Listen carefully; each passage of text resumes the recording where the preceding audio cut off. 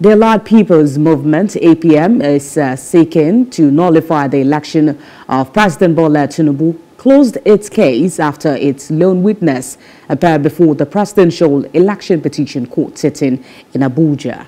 The witness, Aisha Abubakar, who identified herself as the Assistant Welfare Director of the party, tendered seven barges of documentary evidence before the court to establish their case that Tinubu was not qualified to participate in the 2023 presidential election.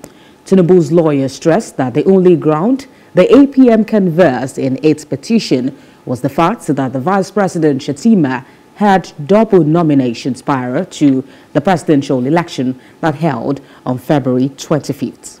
Hello. Hope you enjoyed the news. Please do subscribe to our YouTube channel and don't forget to hit the notification button so you get notified about fresh news updates.